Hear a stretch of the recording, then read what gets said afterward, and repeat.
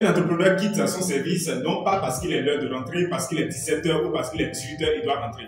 Il quitte son service parce qu'il aurait rempli toutes les tâches de la journée, parce qu'il aurait rempli toutes les tâches qui s'est assignées au cours de la journée. Donc n'agissez pas comme des mauvais employés au sein de votre entreprise. Lorsque vous le faites ainsi, vous ne pouvez pas atteindre de grands objectifs.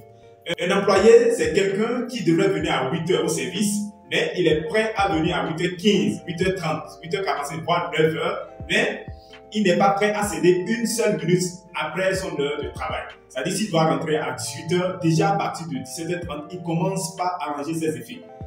Il a fini la tâche journalière ou pas. Lorsqu'il est déjà à 17h30, il ne veut pas ajouter une minute de plus sur son heure de travail. Donc, lorsque vous êtes entrepreneur, vous ne devez pas agir dans votre entreprise comme de, voilà, de la sorte. Et c'est ce que nous observons très souvent dans les services publics. Vous avez des personnes qui viennent tardivement au service, il va accuser 15 minutes, 30 minutes, voire une heure de retard. Mais lorsqu'il s'agit de rentrer l'heure de départ, il n'est pas prêt à ajouter ne serait-ce seule minute sur son heure de travail. Alors, lorsque vous êtes dans votre entreprise et que vous agissez de cette façon, vous ne pouvez pas, n'est-ce pas, de grands objectifs.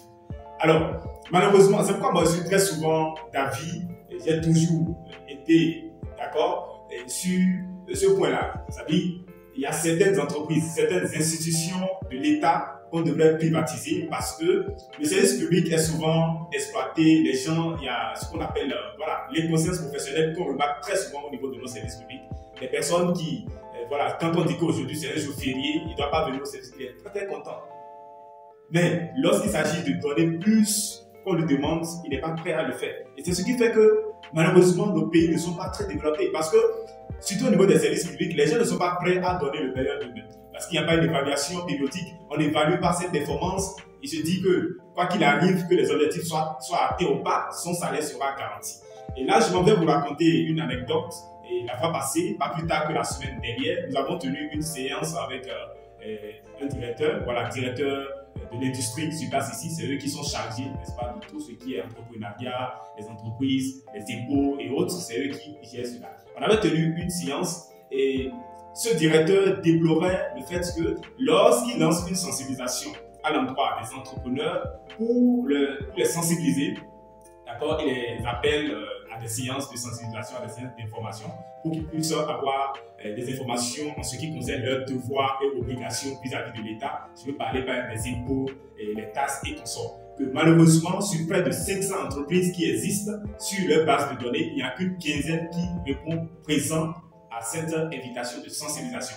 Alors, je lui ai posé la question de savoir, est-ce qu'ils ont posé le diagnostic, le diagnostic est-ce qu'ils ont cherché à savoir quelle est la raison de ce faible taux de participation de ces entreprises Et tout simplement, il me faisait comprendre que, voilà, parce que les gens, lorsqu'on parle des impôts, lorsqu'on parle des taxes, les entreprises n'aiment pas ne s'y intéressent pas. Et que, et que les entreprises participent ou pas, lui, ça n'a rien à voir avec son salaire. À la fin du mois, il va toucher. Et bien au contraire que c'est les entreprises qui perdent parce qu'ils n'auront pas l'information.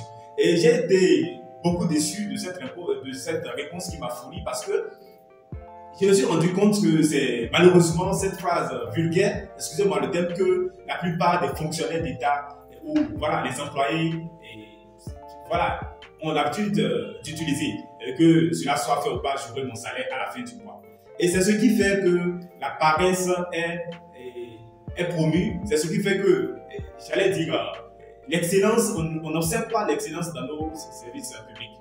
Donc, lorsque, s'il s'agissait d'une institution privée par exemple, il se serait posé la question de savoir pourquoi les gens ne participent pas à ces séances combien importantes, euh, importantes pour, les entreprises. Et la réponse serait trouvée, le diagnostic sera posé parce que lorsque vous appelez des entreprises et qu'ils doivent venir entendre leurs obligations, leurs devoirs vis-à-vis de l'État, et que lorsque en venant, ils n'ont pas beaucoup d'intérêt, c'est-à-dire quelles sont les opportunités que vous leur offrez, quelles sont les facilités que vous leur offrez? Si c'est uniquement pour leur parler des impôts, bien évidemment, je ne vois pas quel entrepreneur va c'est vrai que c'est important de venir, d'avoir les informations nécessaires. C'est d'ailleurs capital en tant qu'entrepreneur, savoir les différentes réglementations dans le secteur où on opère. C'est très important. Mais la réalité, c'est que les gens ne sont pas prêts à venir écouter d'accord, les obligations sans leur parler des opportunités, des facilités que vous-même vous leur proposez en tant qu'institution euh, de tutelle.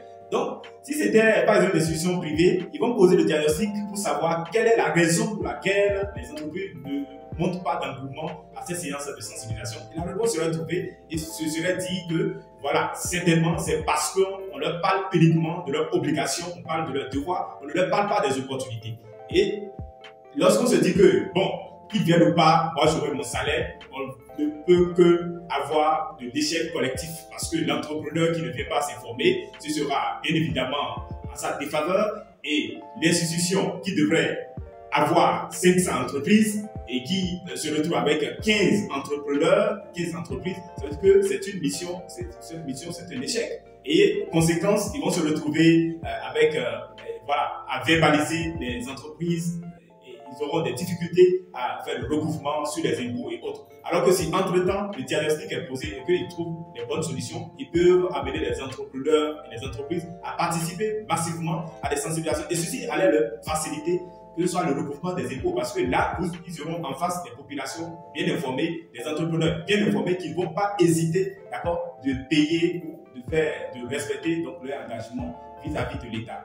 Mais vous voyez comment les gens pensent euh, au niveau des services publics. C'est quoi Moi, je suis très souvent d'accord euh, si certaines institutions euh, publiques et étatiques sont privatisées. Parce que le privé, c'est le résultat. Et malheureusement, dans les services publics, les gens se disent que voilà, c'est un service public et ils font ce qu'ils veulent. Il n'y a pas de l'excellence. Les gens ne, vont pas à l'excellence. Donc, lorsque vous êtes en entrepreneuriat, vous ne devez pas agir de cette façon. Vous avez votre entreprise, vous ne devez pas d'accord, agir comme celui-ci là, comme un employé euh, qui euh, est pressé de rentrer sans pouvoir terminer les tâches de la journée. Et si tout le monde devrait agir très bien dans son entreprise, plusieurs entreprises existeraient et on va beaucoup plus parler, d'accord, du développement. Parce que lorsque vous savez que votre euh, réussite de, la réussite de votre entreprise dépend de vous. Vous allez vous donner, vous allez donner le meilleur de vous-même. Et de l'autre côté, lui aussi sait que la réussite de son entreprise dépend de lui. Vous allez voir chacun, il aura ce qu'on appelle l'amour du travail. Les gens vont se donner et c'est comme ça qu'on peut bâtir, n'est-ce pas, euh, nos différents pays. Donc voici ce que je tenais à partager avec vous. Si vous êtes entrepreneur ou vous aspirez à l'entrepreneuriat, retenez tout simplement qu'on ne vient pas en entrepreneuriat juste parce que je vais être libre. Bien au contraire, lorsque vous êtes en entrepreneuriat, il n'y a même pas la liberté là-bas. Vous ne faites pas n'importe quoi. Vous ne devez pas faire comme bon vous semble. C'est-à-dire, là, il y a beaucoup plus de contraintes. Aujourd'hui, par exemple, moi, je viens au service à 7 heures, mais je rentre pratiquement à 22 h 22 heures. Ça dépend des urgences. Mais si j'étais employé quelque part, déjà, je viens à 8 heures, déjà à 17 h 18 h 30, je serai chez moi que, voilà, que les tâches soient terminées ou pas, je vais me dire. Et c'est ce qui se passe. Les gens se disent, bon, demain, je vais continuer, je vais achever le travail. Demain, il vient, il y a bien évidemment les tâches de ce jour qui ne finissent pas de remplir. Il y a d'autres tâches qui viennent s'ajouter. Et il reporte, il reporte, il reporte. À la fin de l'année, on n'a pas de bons résultats. Vous comprenez? Donc, en entrepreneuriat, lorsque vous venez en entrepreneuriat, enlevez cette idée de je vais être libre, je vais être euh, mon propre patron.